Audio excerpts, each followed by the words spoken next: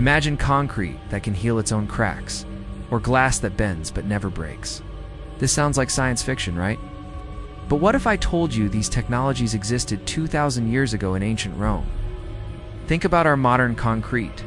It starts to crumble after just a few decades. Yet, Roman structures like the Pantheon are still standing strong. And some of their harbors, submerged in corrosive seawater for centuries, are tougher now than when they were built. The secret. They mix their concrete with a special volcanic ash. When seawater seeps into cracks, it reacts with this ash growing new minerals that actually seal the damage from the inside out. It's literally self-healing concrete. Then there's the incredible legend of flexible glass. An inventor supposedly presented a glass bowl to Emperor Tiberius. When he threw it to the ground, it didn't shatter it, just dented. And then he simply hammered it back into shape. What happened next is a mystery. But these Roman innovations still blow our minds today. What other ancient secrets have we lost?